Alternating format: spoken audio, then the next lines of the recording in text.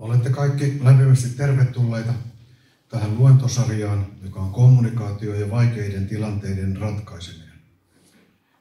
Tämä ilta, joka keskittyy puhumiseen, aloittaa neljän luennon sarjan, jossa seuraavana on sitten kuunteleminen ja tietyllä tavalla näiden, nämä kaksi on semmoista niin kuin johdantoluentoa, jotta päästään niihin vaikeisiin tilanteisiin, joita sitten pitäisi ratkaista. Ristiriitojen ratkaisu jo, on se kolmannen luennon aihe. Ja voi sanoa, että sen tavallaan teema, että ne asiat, joista voi selvitä puhumalla. Mutta sitten viimeisenä on kriisit, ja ne onkin sitten tilanteita, joita ei enää niin kuin puhumalla ratkaista. Mutta silti niihinkin löytyy ratkaisuja ja sitten paneudumme niihin. Mutta tänään puhumme siis puhumisesta. Illan rakenne on aina samanlainen. Ensin pidän luennon. Sen jälkeen on pieni musiikkikappale. Sitten niitä pohdintatehtäviä, joita olette jo sinne ottaneetkin niitä voi pohtia siinä sitten itsekseen tai pöytäseurueeseen kuuluvan kanssa tai se ei ole kovin pitkä se, se tuokio. Ja sen jälkeen on mahdollisuus sitten vielä kysyä illan teemasta, jos jäi jotain kysyttävää. Haluan kiittää jo tässä vaiheessa Markus Montero Kartanoa näistä upeista PowerPoint-jutuista – ja tästä visuaalisesta ilmeestä, jonka hän on tälle luentosarjalle tehty, tehnyt. Samoin, että tämä kuvataan, tämä, tätä ei lähetetä suorana, mutta tämä tulee nettiin. Ja tämän hetken ajatus on se, että ne tulevat jo ennen, ennen kuin seuraava luento tulee. Tällaisilla ajatuksilla. Ei voi tulla kuulluksi, ellei ole valmis puhumaan. Ei voi puhua, ellei ole turvallisuutta ja luottamusta. Ei ole turvallisuutta ja luottamusta, ellei ole rakkautta. Nämä lauseet, jotka eivät ole minun keksimieni, vaan olen löytänyt ne jostain kirjasta, niin noissa tiivistyy tavallaan tämän koko luentosarjan keskeiset ajatukset. Muutama sana näin ensimmäisen, ensimmäisen luennon alkuun siitä, että kuka minä olen. Minä olen Hannu Komonen, lammilainen, Lammin seurakunnan sielunhoitoterapeutti tällä hetkellä. Tarjoan ilmaiseksi keskusteluapua täällä seurakuntatalossa. Yhteistiedot löytyy netistä ja ne löytyy niistä lapuista myöskin. Olen eläkkeellä oleva opettaja, joka sivutoimisesti olen Konnarin koulussa edelleen yhden päivän viikossa töissä. Vuonna 1990 menin vaimoni kanssa ensimmäiselle avioliittoleirille ja sen jälkeen olemme, me urahdimme siihen hommaan heti. Sen jälkeen olemme olleet tavallaan niin kuin näiden asioiden kanssa, avioliiton ja kommunikaation ja kaikkien muiden ihmissuhdeasioiden kanssa tekemisissä jatkuvasti. Avioliittoleiri johti siihen, että Meistä tuli ryhmäjohtajia, sitten olimme luennoitsijoita, luennoitsijoiden kouluttajia, tapahtumien järjestäjiä, niin että me teemme sitä työtä antaumuksella ja koko sydämisesti erittäin pitkän ajan. Loppuvaiheessa sitten halusimme syventää vielä tietojamme ja hankimme molemmat myöskin sielunhoitoterapeutin koulutuksen. Paras koulutus on kuitenkin ollut tämä meidän avioliitto siinä sitä on sitten yritetty laittaa niitä teoreettisia oppeja käytäntöön ja harjoitukset jatkuvat edelleen. Ei siinä koskaan täydelliseksi tule. Tämä kommunikaatio on sellainen, että pitää tulla tietoiseksi omasta tavastaan kommunikoida. Mikäli, tai mitä, sitä asiaa, mitä sinä et tiedä, sitä sinä et voi hallita. Ja mitä sinä et voi hallita, niin sitä sinä et voi muuttaa. Eli sinun pitää tietää, miten se kommunikaatio pitäisi tapahtua.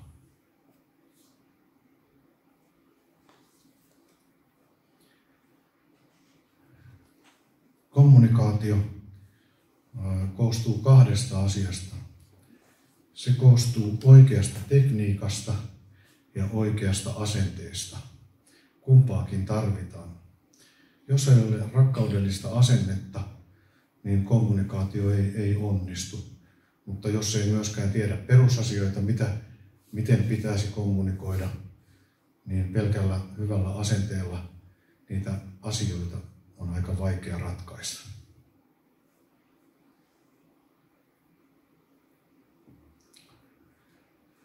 Puhuminen. Puhuminen on osa kommunikointia. Kommunikointi on asian jakamista, jonkin asian tekemistä yhteiseksi. Kommunikointi koostuu puhumisesta ja kuuntelemisesta. Jotta kommunikointia tapahtuu, täytyy jonkun puhua ja jonkun toisen kuunnella. Kommunikointi on siis enemmän kuin pelkkä puhuminen. Se on ennen kaikkea siis asian jakamista. Jotkut ihmiset harrastavat monologeja, puhuvat paljon ja hyvin usein puhuvat myöskin itsestään ja itseä kiinnostavista asioista. Se ei ole kommunikointia. Se on vaan yksisuuntaista viestintää.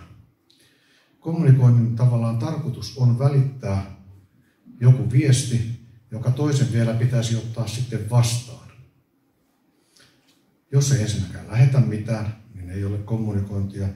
Ja vastaavasti, jos joku ei sitä vastaan, niin ei, ei sekään ole kommunikointia. Se vaatii siis nämä molemmat.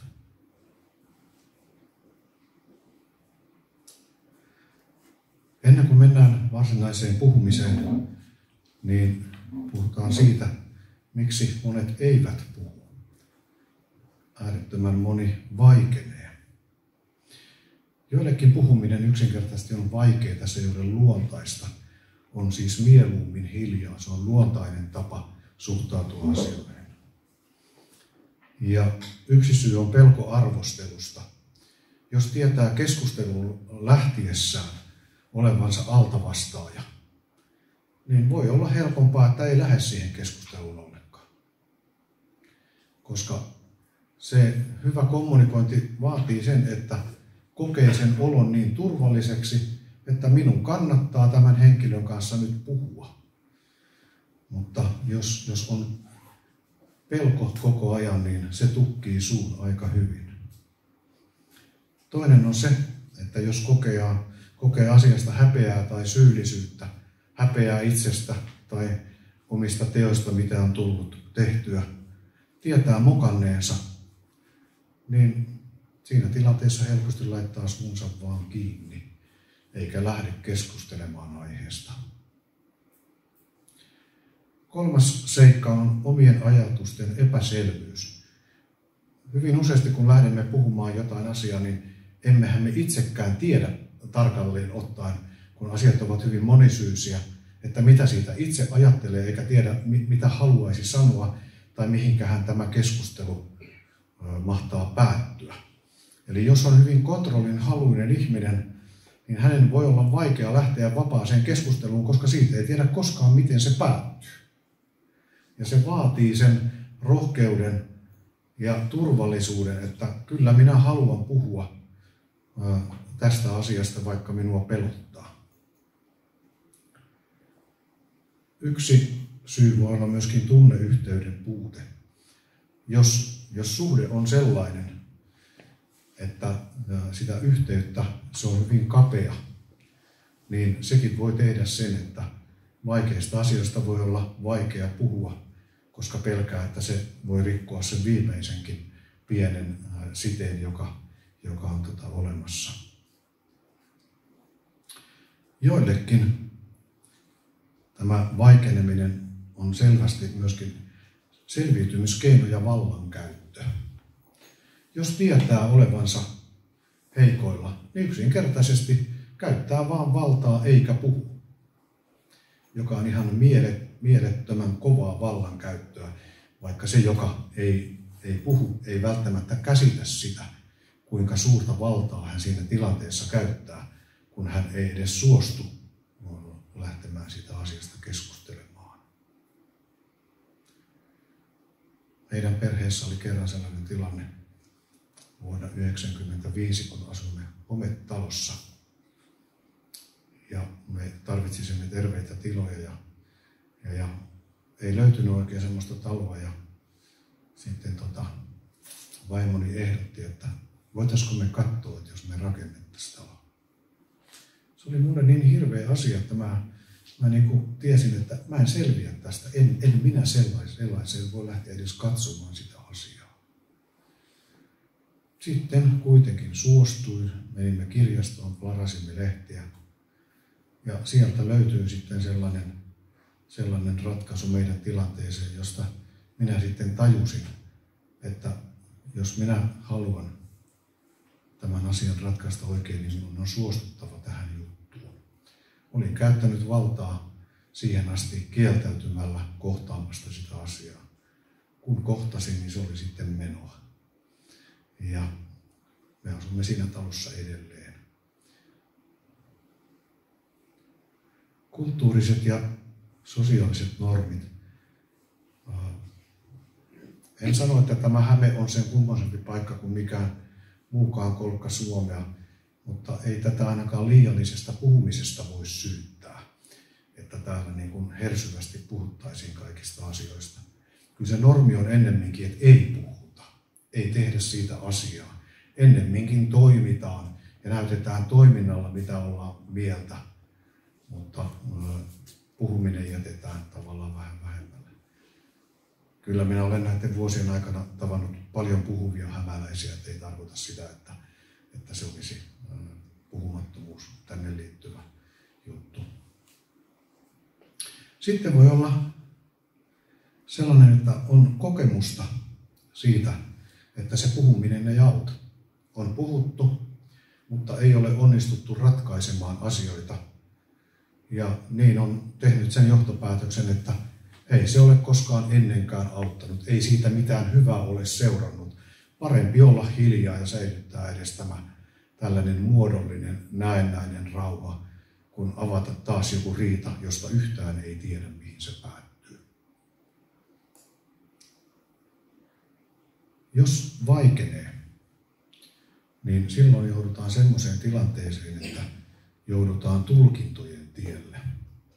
Voi sanoa, että minä vihaan tulkintoja noin henkilökohtaisesti. Minä en pidä siitä, että minua tulkitaan, jos minä en ole jotain sanonut. Tai jos, minun, jos se sisältää jonkun vivahteen, että sinä noin tai sinun asenteesi on tämä. Mistä voit tietää minun asenteeni? Mutta jos vaikenee, silloin on tulkittava. Mitä sinä silloin sitten muuta teet, kun tulkitset sitä toista?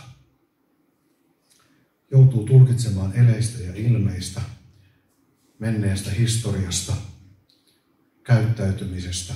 Sitten on tulkittava. Ja ää, tulkinta voi olla oikea tai väärä. Siitä ei tiedä. Ja sitten jos lähtee tulkitsemaan ja sanoo sille toiselle, että tämä tulkitset tämän näin, niin no sitten pitää keskustella vain tulkinnoista, jos toinen ei puhu.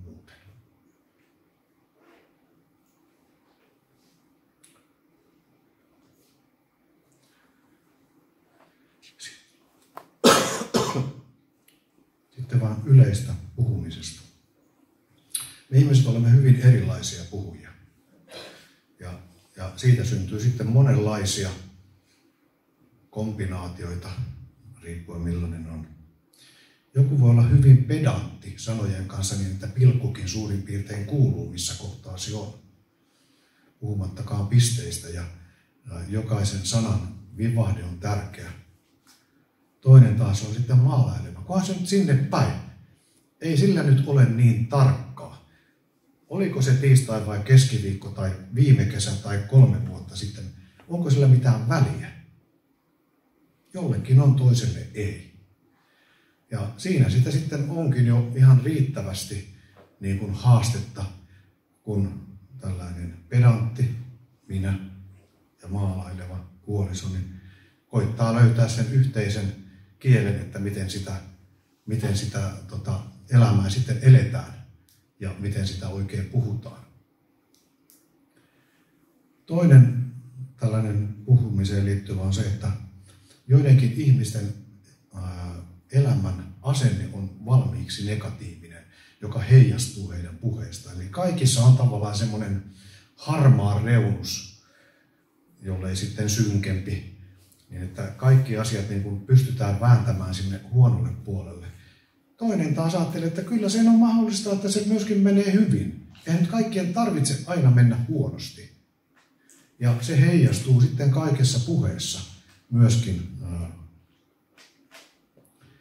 Joillekin sitten toimiminen on se tapa osoittaa, osoittaa välittämistä ja kiitollisuutta ja yhteyttä. Minun vanhempani olivat sitä sukupolvea, jotka toiminnallaan näyttivät, että he välittävät. Sanoja ei kyllä kuultu, ettei vaan lapset ylpisty, mikä varmaan on ollut hyvin tyypillistä joskus aikanaan. Joillekin se puhuminen on luontevampaa, luontevampi tapa. Sitten toi feminiininen, maskuliininen liittyy siihen, että on sanottu, että naisilla niitä sanoja on niin paljon enemmän käytössä, että mulla on varmaan jo iltapäivällä kaikki sanat kulutettu, kun sitten joku toinen puhuu vielä vaikka kuinka paljon. Eli tavallaan, että sitä puhetta tulee. Ja, ja toisaalta sitä vaan ei tule. Sitten vaan vastataan lyhy- tavallaan niin kuin siihen, siihen maskuliiniseen tapaan kuuluu enemmän sellainen, vastataan lyhyesti. Jos kysytään, niin kyllä mä sitten vastaan, mutta ei sitä omaa puhetta välttämättä hirveästi tuoteta. Että mitä sitä, kun ei kerran ole asiaa, niin, niin, niin ei sitä nyt tarvitse, niin kyllähän tässä nyt ollaan oltu ja hommat, hommat sujuu, että mitäs tässä nyt. Ja toinen vaan haluaa luoda niillä sanoilla sitä yhteyttä. Alueelliset erot. Jos se on niin, että sanotaan, että savolaisilla, että vastuu siirtyy kuulijalle, niin jos se puhe on epäselvää, niin silloin on kyllä puhuttu huonosti. Jos sen, jos sen tota, kuulijan pitää päätellä, että mitä hän tuo oikein tuolla tarkoitti, niin silloin ei ole kyllä puhuttu sillä tavalla, kun olisi hyvä puhua. Sitten viimeisenä kohtana tässä on tuo tunne ja asia. Niin, niin, minä olin aikanaan sellainen, että minä puhuin silloin, kun oli asiaa. Ja asiatkin vielä useasti sillä tavalla, että kun asia oli sellaista, joka mua kiinnosti, niin sitten minä puhuin. Ja on pitänyt opetella tätä tunnepuolen juttua sitten tässä tämän elämän aikana. Ja, ja kyllä mä nykyisin jo osaan puhua muutakin kuin asiaa. Ja voi sanoa, että se on ihan mukavaa.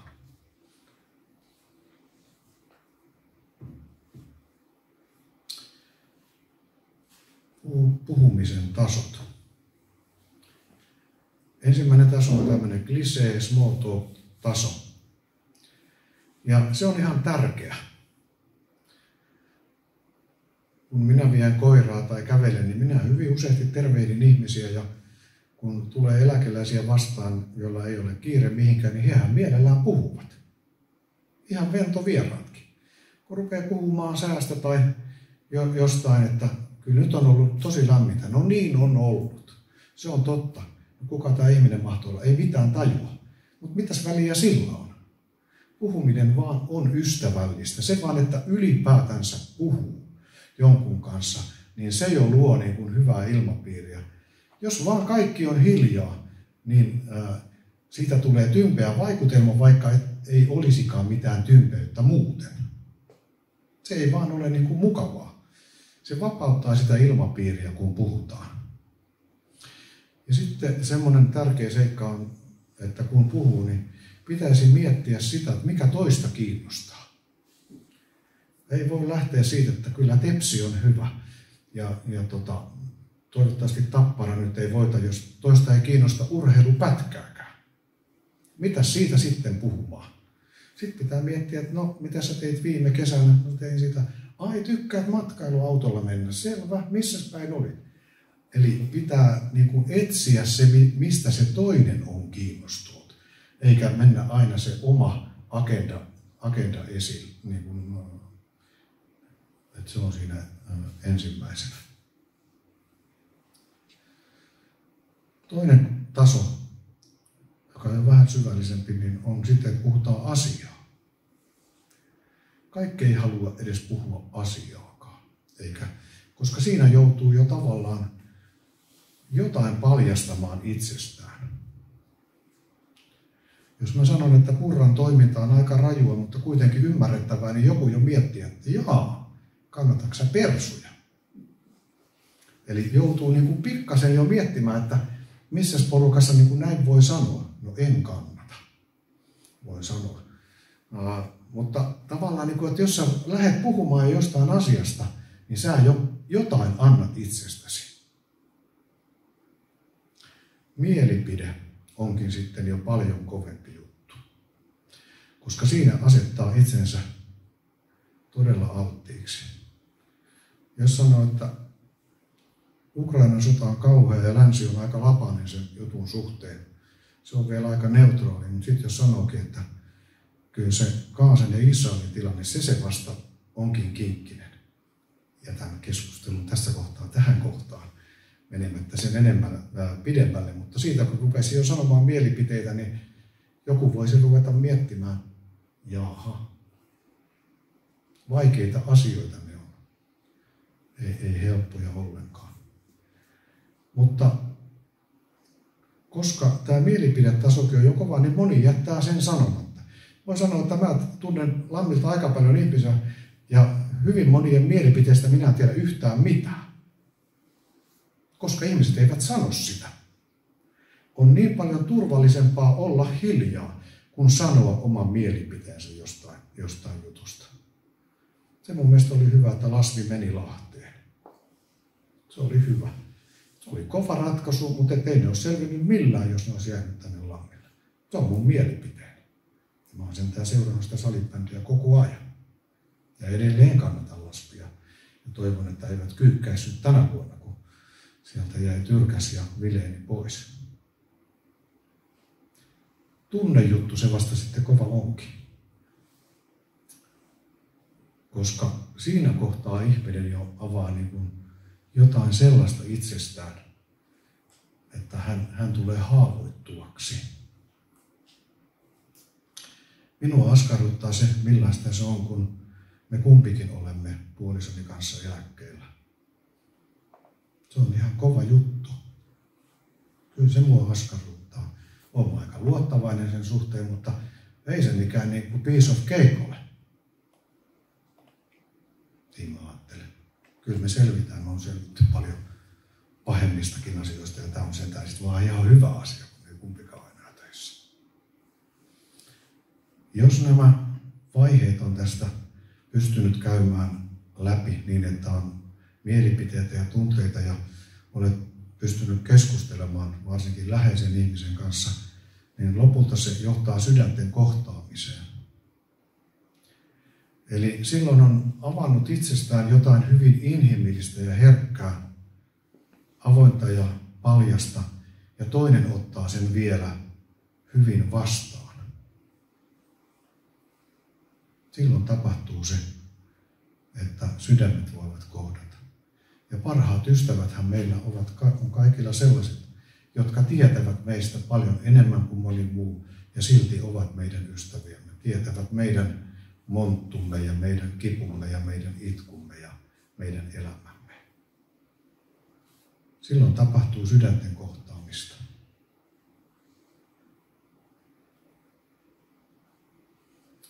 No sitten, huonoja tapoja puhua.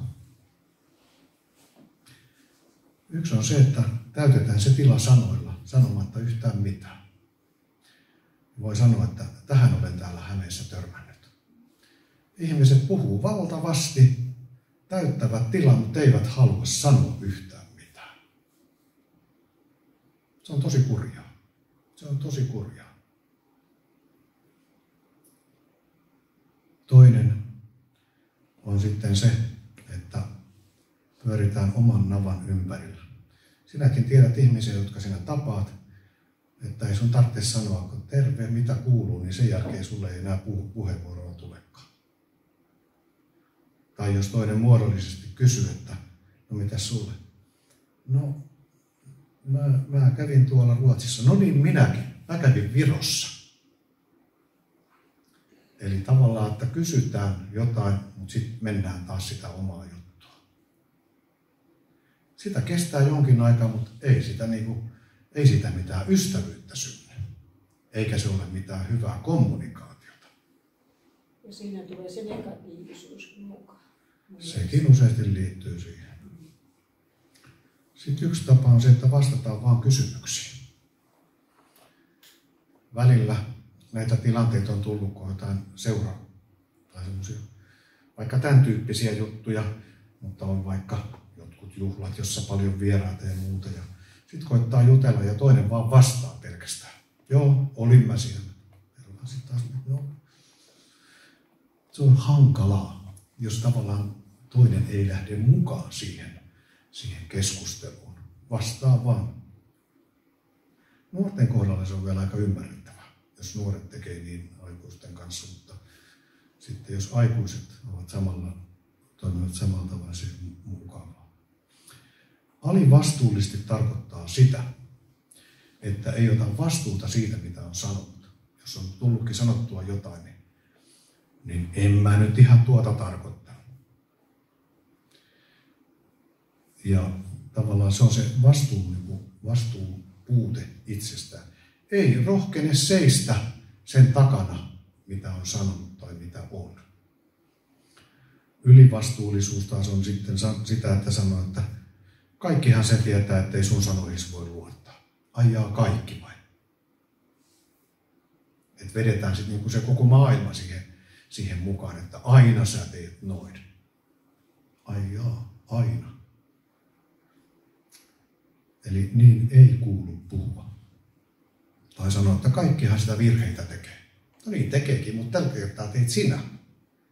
Että ei se niinku auta, että kaikki tekee sitä, nyt jos ollaan niinku vetässä kaistaa keskustelua tästä.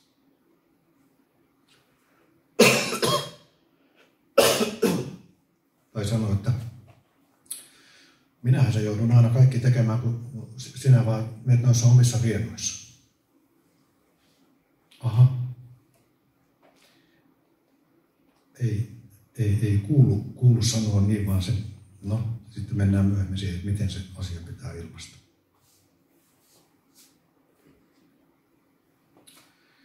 No sitten, onko syytä nostaa kissa pöydälle? Se on tota, semmoinen juttu, että kyllä ja ei. Kumpikin vastaus on oikea, riippuu tilanteesta. Minä nostin aina ennen kissoja pöydälle. Jos ei niitä ollut, niin minä tein semmoisen kissan ja nostin sen pöydälle. Ja kyllä niitä pieniä kissanpoikia aina riittävästi löytyi, jotta jotain sai. Ei kuulu tehdä niin. Ja ei kuulu olla totuuden torvi, niin kuin minä joskus aikanaan nuoruudessani olin. Miksi ei kuulu? Sen takia, että jos joku ei halua kuulla jotain asiaa, niin hänelle on ihan turha sanoa siitä.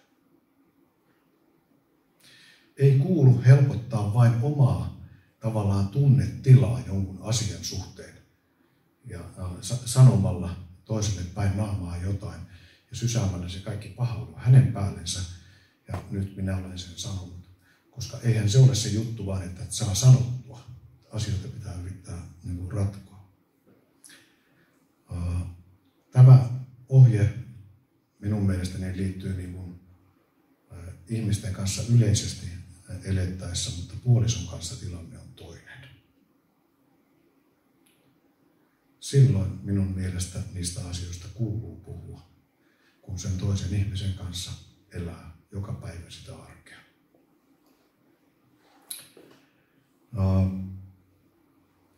Sitten tavallaan siihen, että kuinka paljon jollekin toiselle voi sanoa, niin siinä on sellainen ohje minun mielestä hyvä, että voit sanoa niin paljon, kuinka syvä teidän suhteenne on.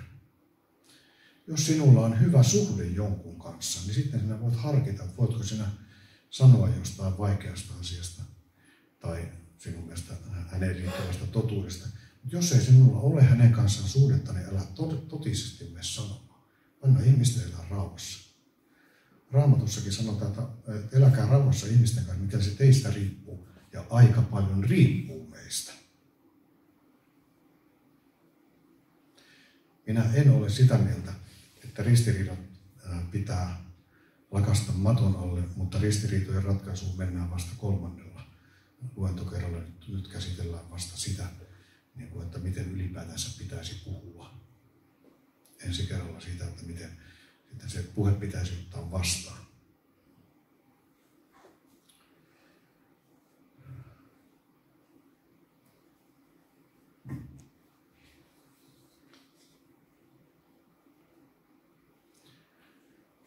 No niin, nyt vasta päästiin sitten siihen, että miten sitä oikeasti pitäisi puhua.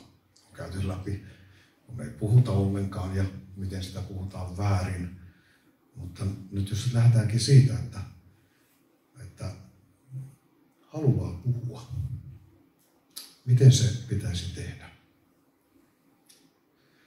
Ensinnäkin se vaatii sellaisen päätöksen, että minä tulen esiin omana itsenäni.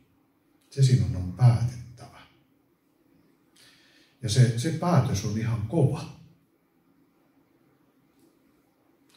Minä olen itse tehnyt sen mon, monta kertaa monien ihmisten kanssa, että minä olen päättänyt, että minä sanon tämän asian, meni syteen tai saveen.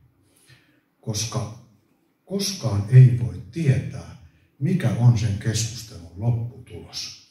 Siitä lopputuloksesta käsin sitä keskustelua ja puhetta ei voi lähteä liikkeelle. Koska siinä olet sinä ja siinä on sitten se toinen. Ja sinulla on kokemusta siitä, että miten ne keskustelut menee.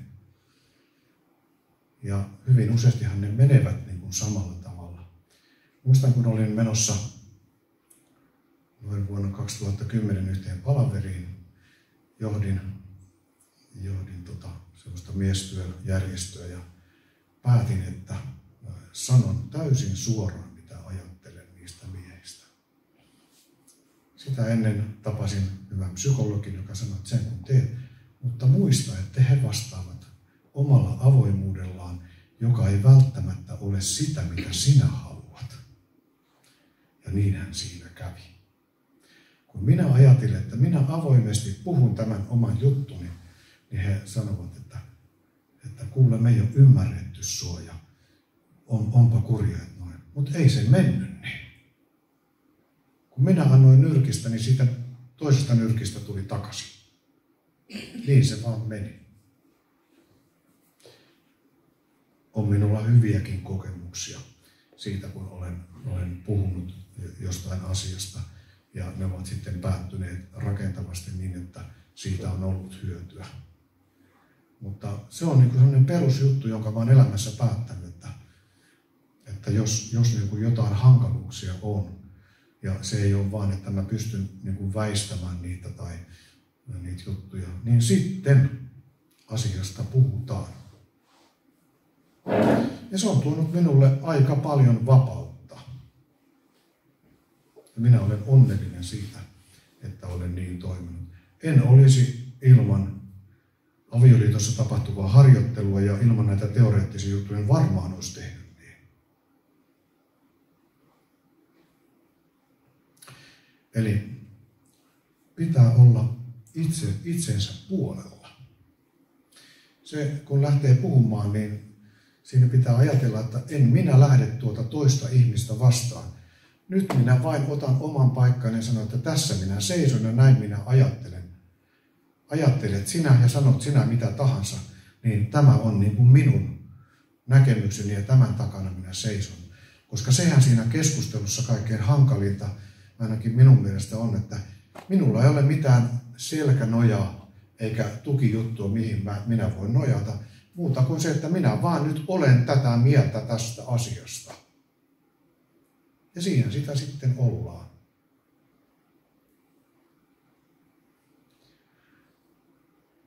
omasta puolesta puhuminen tarkoittaa sitä, että se ei saa lähteä siitä, että lähtee puhumaan toisesta ja toisen virheistä, vaan se lähtee siitä, että puhutaan itsestä.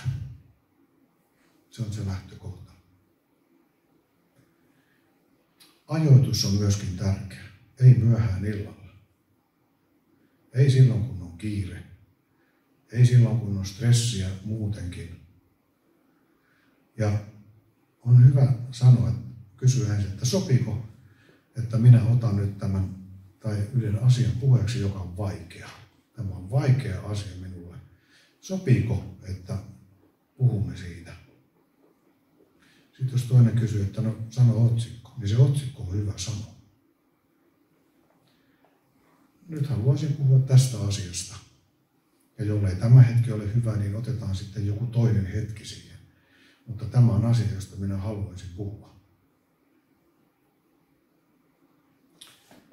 Sitten toi kohta, puhu sille, jota asia koskee. Se on vaikeaa. Se on tosi vaikeaa. Koska silloin, kun on joku hankala asia, niin mehän puramme sitä niin kuin ympäristöön. Sinne tänne tonne, jotta se helpottaisi sitä omaa asiaa, omaa oloa. Ja kyllähän se helpottaakin, mutta se ei ratkaise sitä asiaa. Jos sen asian haluaa ratkaista, niin silloin sitä on puhuttava sille tavallaan, kuka on se kohde. Kyllä siinä niin voi tehdä, että ensin siitä voi puhua jollekin muulle, helpottaakseen sitä omaa tunnetta, saadakseen ymmärrystä siihen asiaan.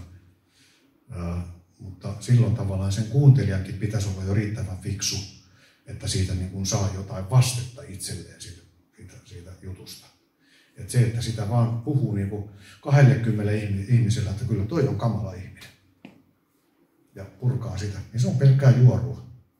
Se on pelkkää niin kuin oman pahan olon purkamista vaan muille. Eli pitäisi sanoa, että nyt minä haluan puhua sinun kanssasi tästä asiasta.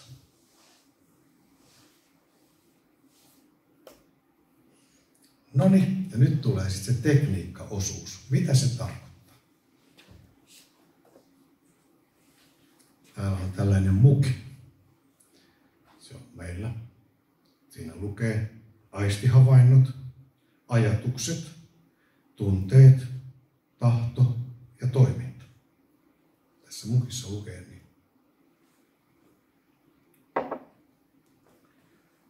Tätä sanotaan itseilmaisun kehäksi. Ja tämä ei varmaan, siis nämä tulee nämä PowerPointitkin sinne nettiin, niin oli ajatus ainakin jollain tavalla, että näitä voi katsoa sieltäkin, mutta jos sä haluat jotain kirjoittaa ylös, ja sulla on siinä se paperi, kun se, se ei varmaan löydy sieltä, niin tämä on niin kuin se, se tämän, tämän ensimmäisen luennon pihvi. Tästä on kysymys silloin, kun halutaan puhua oikein. Saa siitä ottaa kuvankin, jos haluaa.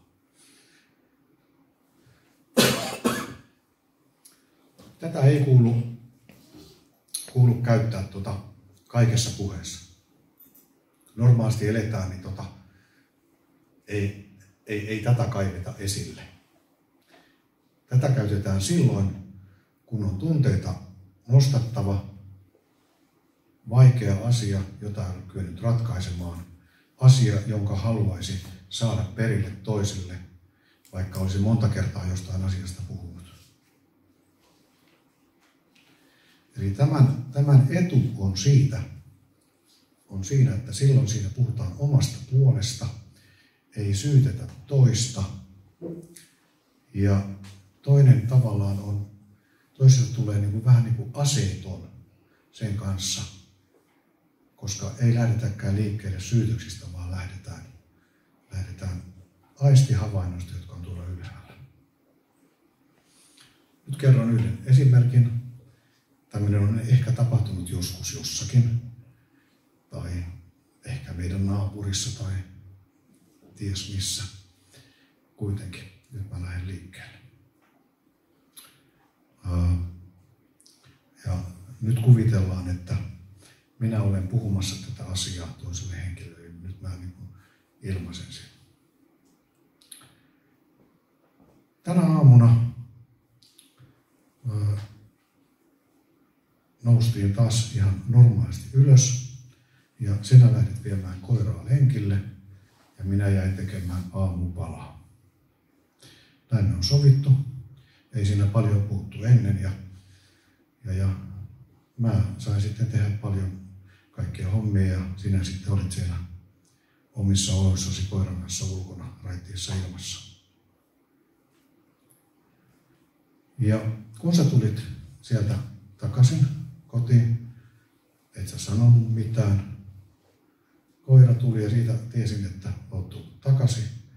Ja sitten menit siihen aamupalapöytään ja otit pädin esille ja rupesit plaraamaan sitä ja katsomaan sitä. No, te herätti minussa semmoisen ajatuksen, että eikö mä ole tärkeä? Mä saan tehdä kaiken. Voi tervehdit aamulla.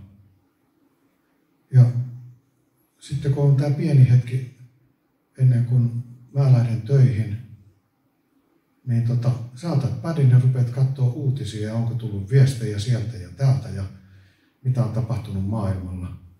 Vaikka sulla olisi koko päivä sen jälkeen, kun mä oon mennyt töihin, niin sä pystyisit se tekemään. Niin mulle heräsi ajatus, että eikö sä välitä olla mun kanssa? Eikö sä välitä puhua mun kanssa? Vai mistä se oikein kysymys? Minä tunsin itseni aika yksinäiseksi, itsestäänselvyydeksi, irralliseksi. Että onko meitä vaan tässä kaksi niin kuin fiksua ihmistä, jotka kumpikin hoitaa oman juttunsa. Ja sitten mä lähden töihin. Ja sä jäät tänne tekemään kaikkia niitä asioita, mitä sä haluat tehdä. Se, mitä mä tahtoisin, on se, että sä olisit kiinnostunut musta. Että sä olisit sen pienen hetken, kun me tässä aamulla ollaan yhdessä. Että sä olisit mun kanssani ja keskustelisit päivästä ja, ja kaikesta. Ja se, mitä mä toivon, on se, että laita se pädi pois. Älä ota sitä siihen esille. Mä haluaisin rakentaa yhteistä päivää, yhteistä todellisuutta. Ja mitä mä haluaisin? Mä haluaisin olla sun kanssa. Helposti voitte arvata, että tämä asetelma oli niin päin, että minä en ole se, joka olen tätä puhunut. Eikä todellisuus välttämättä aivan juuri tällainen ole, mutta ei se nyt kovin kaukana, kovin kaukanakaan siitä ole. Kyllä tämmöinen vetää asettomaksi. Kun toinen vaan sanoisi, että miksi sä aina otat sen pärin? Pistä pois. Jos se olisi se viesti, niin se, sen viestin vaikutus on ihan erilainen kuin että se tehdään tällä tavalla.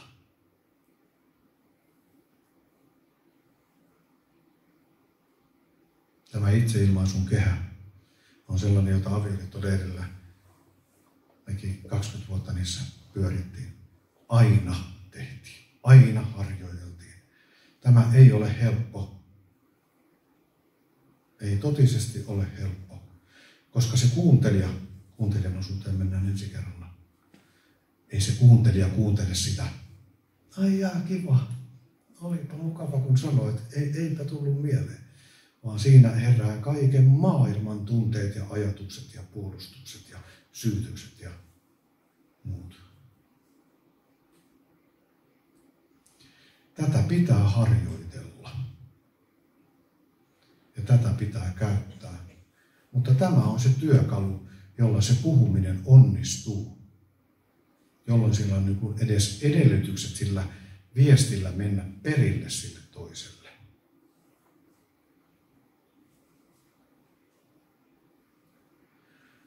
Niin ja sitten älkää käykö keskustelua asiasta ennen kuin puhuja on kertonut kaiken, mitä hän asiasta ajattelee ei siinä ruveta käymään keskustelua siitä teemasta. Toinen voi puhua saman asian vaikka neljä kertaa ja kysyä, että tai sitten sen toisen kuuluu palauttaa sitä jollain tavalla. Mutta sen puhujan pitää saada se käsitys, että toinen on oikeasti ymmärtänyt, mitä mä haluan sanoa. Jollei hänelle tule sitä ymmärrystä, että mistä tässä on kysymys, niin ei niitä asioita pysty ratkomaan.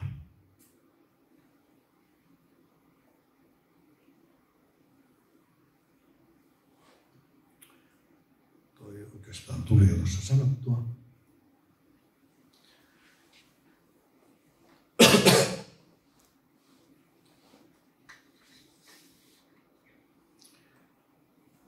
Tämmöistä asiaa kannattaa treenata jollakin ei, ei kaikkein vaikeimmalla asialla. Että oppii sen tekniikankin ensin. Mutta kyllä sen asian pitää sisältää tunnetta. Jollei siinä ole tunnetta, niin se on niin kuin, ei, ei siitä mitään silloin tule. Ja sitten semmoinen seikka, että tässä kohtaa ei saa ruveta korjaamaan toisen puhetta.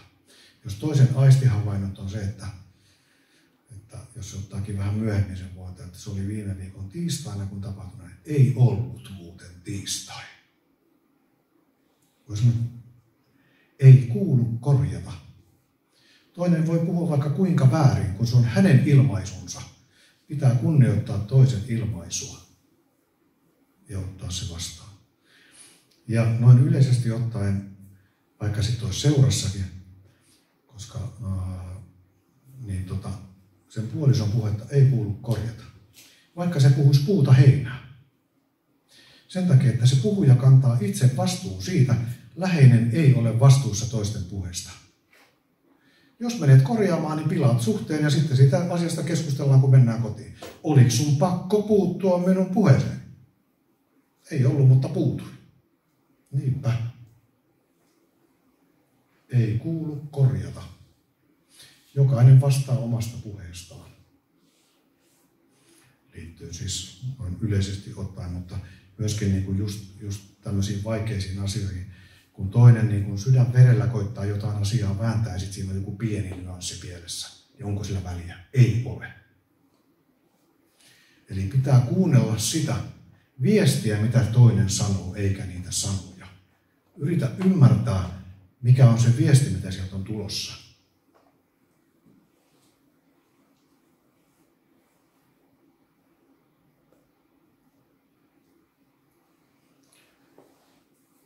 Sitten kohta tulee niitä pohdintatehtäviä. Eli on tarkoitus, että te voitte pohtia niitä siinä itseksenne tai sen parin kanssa kohta luen ne tuossa läpi.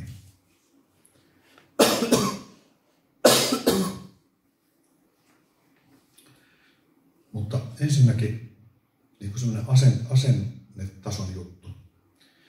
Päätä tulla pois varjosta valoon päätä, että sinä lähdet sille tielle, jossa puhutaan.